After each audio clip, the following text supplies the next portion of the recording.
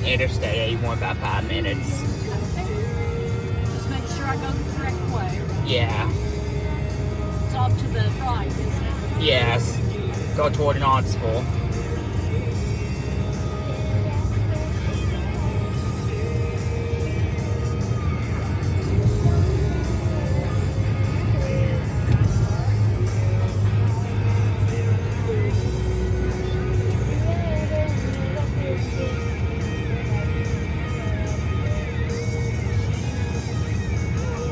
also recline.